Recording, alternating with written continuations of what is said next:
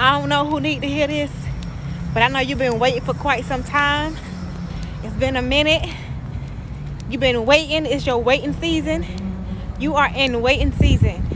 And right now, most of the times I'm always watching the clouds. Anytime I'm, I'm just waking up and I just walk out, walk outside the door, even in the mornings or at nighttime, I feel like God is showing out in the skies. He always give me a beautiful view.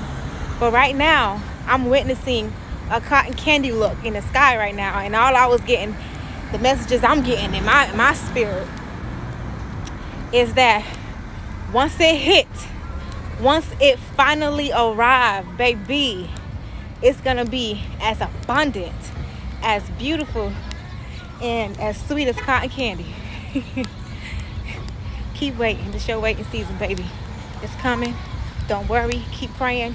Keep your head up, chest out, and you're gonna keep walking like a queen, the king you are. Deuces.